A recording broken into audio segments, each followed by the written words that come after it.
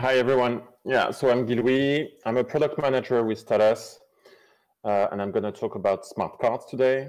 Um, we've been working in Status for two years now uh, on KeyCard. Uh, it's an open source project, uh, and it's a framework to use smart cards in, uh, in blockchain applications. So um, I'm going to go through a couple of uh, things. Um, first, what are smart cards? Why we do need, we do need them in crypto, uh, and uh, what is this framework we've developed and uh, how you can get started. Uh, it's not going to be a super technical talk at all. Uh, I simply like to show you that uh, with KeyCard, you can very easily build your own smart cards if you wish. and you can also join the KeyCard ecosystem by using an existing card, the one from Status, for instance, and integrate it in your application. And I'll also talk uh, a lot about user adoption and uh, user experience in crypto. So what is a smart card exactly? Um, well, these are a really great piece of hardware. They are, you can see that as teeny computers. They run a OS.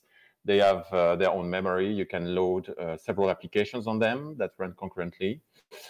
And they are secure elements before all. They've been built from the ground up to provide very strong uh, hardware security. Um, and one of the things uh, I find super interesting is that uh, most of you uh, right now have uh, several smart cards uh, probably with you. Um, your credit cards, your SIM card in your phone, your public transportation cards, your passport, they all hold a, a, a smart card. And what I mean, I mean, the, the point here is that there are smart cards are, is a technology that's already part of our everyday uh, life. Uh, they are a reality. They solve every day for you and for billions of people every day uh, super sensitive authentication problems. So we already rely on them a lot. Um, and actually, the volumes of smart cards are massive um, there are 50 billion smart cards deployed in the world. And just next year, uh, there'll be 10 billion more manufactured. Uh, and you know, these volumes, they have consequences. They, they really matter. Uh, first, from a product standpoint, we are talking here about uh, super standardized products. Um, their level of security is being challenged all the time, obviously, and it has reached a very high level from a hardware standpoint over the years, and they are cost effective. Volumes are high and costs are, are, are pretty cost effective, as I, and I'll come back to that. And also for users, um, um, when a user sees such a card, he immediately identifies this um, with a very high level of security and the form factor embody the usage. He sees something that's going to be helpful for authentication or payments. Um, quickly, what is exactly a smart card? Um, well, there are sets of uh, ISO standards. I'm not going to go into details. Um, one interesting thing is that they can be used uh, either with, with the contacts uh, on the card or contactless. And in this case, we're using NFC technology. So there's the same contactless technology you've got in your uh, phones. Uh, and NFC is used both to power the card. It's a smart cards are passive devices, uh, and also as a communication channel. Uh, and among smart cards, the super vast majority of them are Java cards, uh, and that's what we'll talk about here. Java card, it's, it's an open platform for smart cards. Um, all the smart cards I was talking about, your Visa card, etc., are Java cards. Um, so there's a Java card OS running on the card, and you can write and run uh, applets that are that you write in Java, uh, and you can load several of them, and they run on the card. Um, now, how are these things manufactured? Um, there are well, roughly three main steps. First, you need to produce the module. I mean, that's the, the, the chip you usually see on the card. Um, this is done by just a handful of companies. Uh, there are actually six manufacturers in the world uh, for, for these chips. They are um, silicon company. They manufacture silicon wafers. Uh, these are pick and place on the module. The level of uh, technicity of uh, this company is really super high. From there, the second step is you've got to manufacture the cards. And here, what's interesting um, for us is that there are hundreds and hundreds of factories that are able to use these modules and uh, manufacture cards. Whatever country you live in, you'll find such a factory, most likely. And uh, their level of technicity is not so high. I mean, there are companies that are good at uh, embedding a module in a in plastic or in some other form factor. I did put a, uh, another form factor in the in the shape of a ring that was done by Infineon here. Um, and the third step is simple. It's um, at, at, the factory, you've got to run some scripts to load the right applets in the card. The message here, uh, to put it simply, is that it's fairly easy to source and uh, customize cards.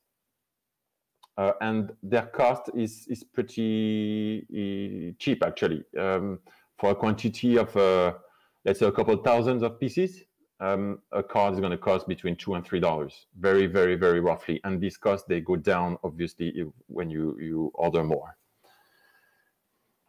Um, okay, so now let's take a look at uh, why um, why what, what's what problems we're solving with smart cards in in, in crypto. Um, this might sound obvious, but um, obviously we're talking about security here. The overall idea is that these cards, they can store your private keys. They are not gonna, never gonna leave the cards. Uh, and all the signatures are done here. Um, so, um, well, well, it's, it's, obvious. Your private key are super important. Uh, protecting their, their security is uh, is super important. It's giving you control over your assets, uh, your identity, your rights, uh, um, and um, so the place where you store these keys is important. Um, they should not be on the server. Uh, they should be. They sh you should try not to have them on your phone uh, memory. So basically, we need hardware wallets, and um, and, and, smart cards are, are, are great hardware wallets because they are teeny, they are secure, they work with mobile because they're contactless, and they're cost effective. That's one thing. Um, yeah, sorry. Um, also, um, there is this paradigm shift from the centralized world to the decentralized world that's a bit difficult to explain to users uh, when you're onboarding them. The shift from the login and password world to a private key uh, world. Um, and we've got to make these users understand that they own their private key. Um, if they lose it, then it's lost. I mean, uh, we cannot recover it for them. Um, so um, hardware wallets help here too, because the, these are these tangible uh, things where you know you, your keys are held. Uh, if you lose them and you lose your seed phrase, then you've lost everything. So um, ownership is important. And last thing is smart cards can help with uh, onboarding. It's obvious we've got an onboarding issue in crypto. Uh, let's say you are a dApp developer. Um, it, it's still pretty hard to guide a user from the moment uh, it gets uh, awareness of your dApp uh, to the moment to the moment where they are ready to interact with it. There are a number of steps, uh, like how do you explain them, how to get the right wallet, to get the right browser, um, how do you get the crypto assets to use the dApp. All this is is still very complex, and, and smart cards can help. I'll, I'll come back to that. Let's look at some concrete uh, examples of how keycard can fit uh, crypto applications. Um, I mean, keycard or, or, smart cards in a more general manner. So first off, uh, this is the most obvious one, uh, and this is what we've done with status application. Um, you can integrate uh, a smart card or key card here with any uh, mobile wallet, uh, whether it's iOS or Android, and, and use the card as a hardware wallet. So transactions are forged on the mobile application. Uh, and once they are forged, the user can enter the PIN of the card, tap the card, and the transaction is uh, transaction or its hash is provided to the card it's signed in the card and uh, the signature is sent back to the to the mobile application. The private keys that the card are, is holding uh, are either generated on the card directly or at setup imported from the mobile.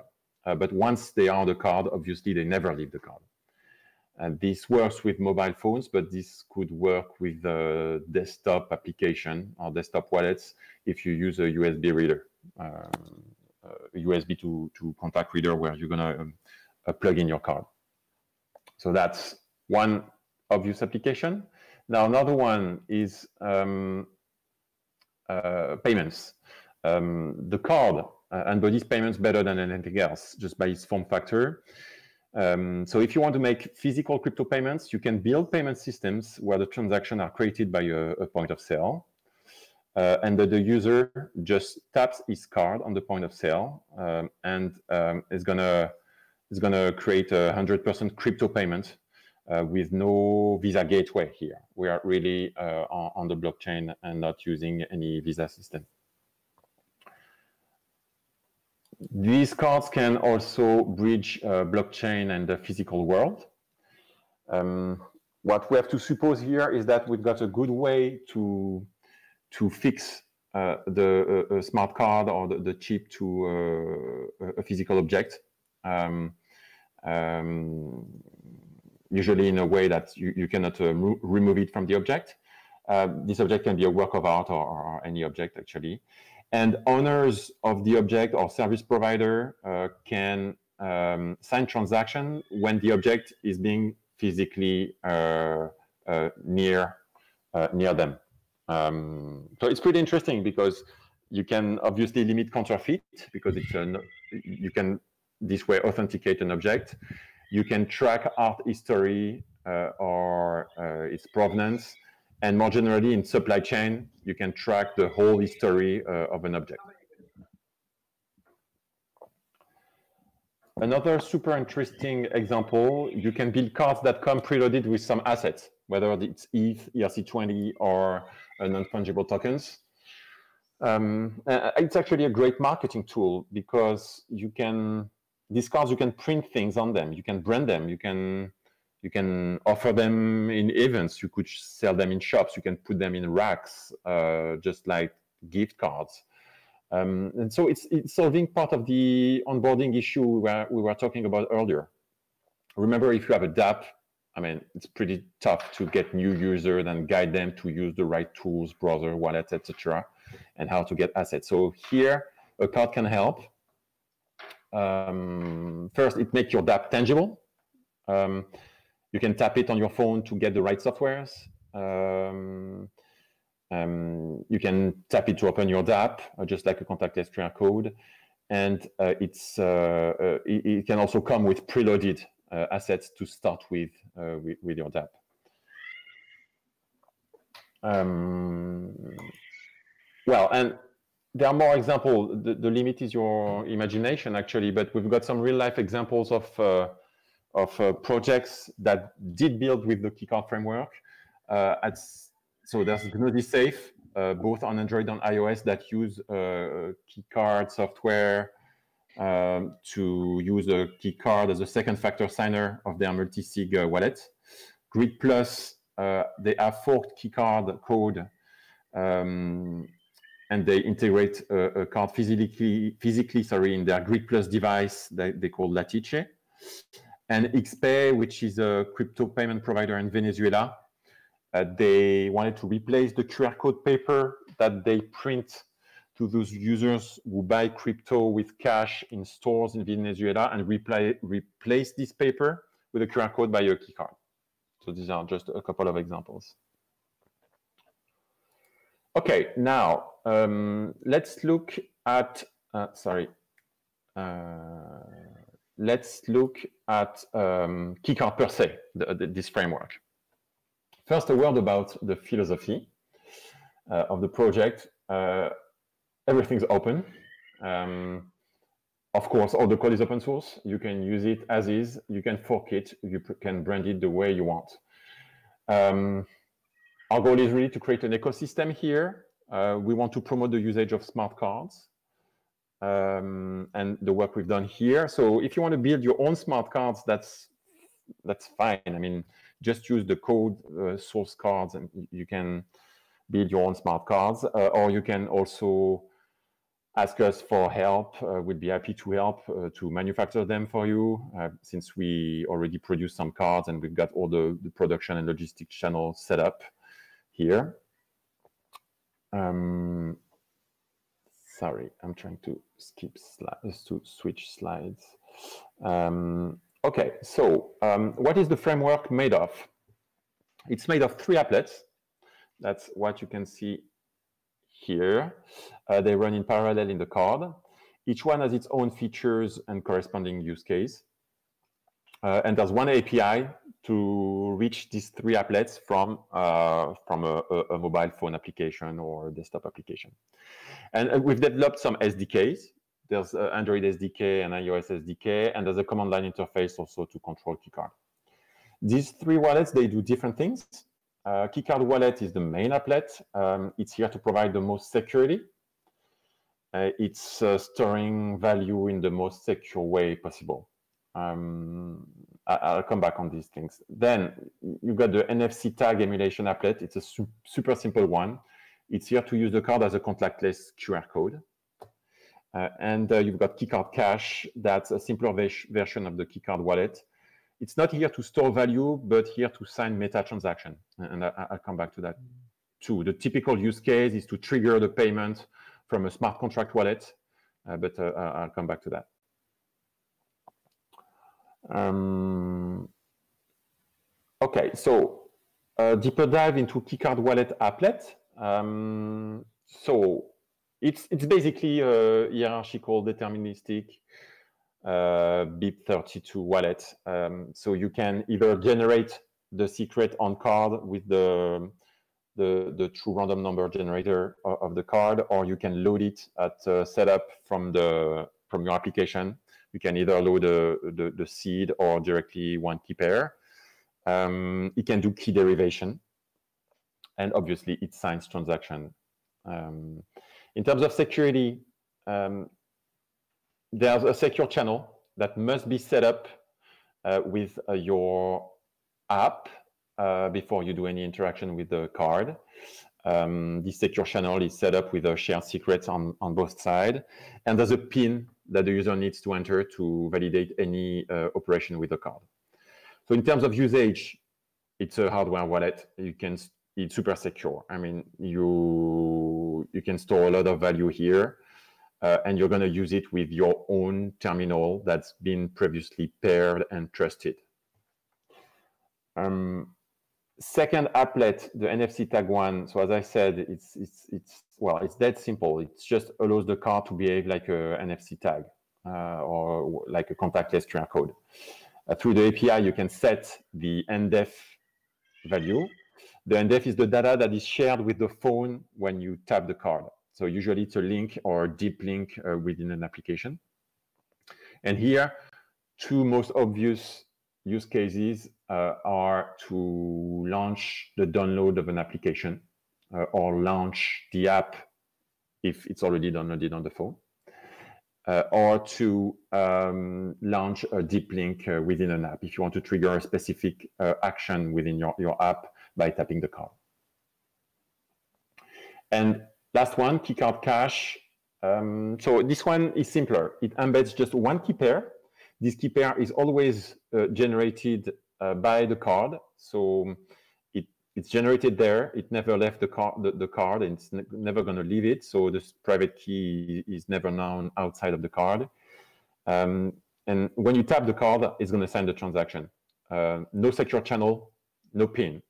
So why uh, we're doing that? Uh, because you cannot store much value on the um, on the um, the EOA, the external uh, own account um, um, represented by this key pair. Um, uh, but it's perfect for card payments uh, or redeeming some preloaded assets. And we're going to check an example. It's here to sign meta transactions. It's, it's here to give the authorization to a smart contract to uh, perform some action. So um, one interesting question is how do you interface a DApp uh, with KeyCard? There are two ways. The, the, the, the, obvious and simple one is option one here. Um, you've got a Web3 browser. Let's say on your phone, you've got a Web3 browser. Um, uh, and the, the wallet uh, associated with the Web3 browser uh, does support hardware wallets, and among these hardware wallets, it supports keycard. That's the example of, of status application, for instance. Um, so when a dApp within the browser is going to call for a transaction, you can sign this transaction with keycard. It's pretty simple. Um, and uh, so your key, the, your keycard is signing a, dApp uh, transaction. But it's supposed that your keycard and the phone are already paired, which is fine. But in some use cases, um, it, it, it's not going to be okay from a user standpoint because in some, let, let, let's take uh, option two example here. So what we've done is that we've built a feature. It's it's within Status Browser. Uh, we call that the request screen, and it allows a dApp to call uh, for uh, dApp to forge a transaction uh, and um, pop up a request screen on the application, and then any card can be tapped on the phone to sign this transaction. So the typical use case here is you are a merchant, you're running a point of sale dApp uh, on a phone because you want to accept crypto transaction uh, from key cards in your shop. And you just want users to tap their card on your point of sale. You don't want them to enter some pairing code or some PIN on your device. So that's um, that's something possible with this uh, request screen. Let's take an example um, of one use case. Uh, and what I'd like to show here is uh, how, I mean, why we've done these three applets, uh, how they can all be used in one, one given use case. The use case here is if you want to distribute or sell uh, cards that come preloaded with some assets. Could be some DAI, could be some NFT if you're a, a, a, a DApp game, for instance. Um, so um, what you want to do here, the use case is you want to, I mean, the assets are not are not in the card per se. We don't want, in this use case, we didn't want to have the assets locked to the cards because uh, we wanted to prevent the case where you've manufactured a big batch of cards, like let's say 1,000, and if you get these cards stolen during the logistic part, you want to be able to recover these assets. So the assets are actually stored on the contract. So the use case here is to redeem the assets um, with the card uh, from smart contracts to the user a user super secure uh, wallet on the key card. And this is how it's going to work. Um, so what we, what I suppose here is that we've got a redeem dApp, redeeming dApp that's uh, deployed. Uh, I mean, its contract is deployed. And actually, we've got um, some GitHub repos with these contracts uh, uh, available if you want to play around and develop these kind of things.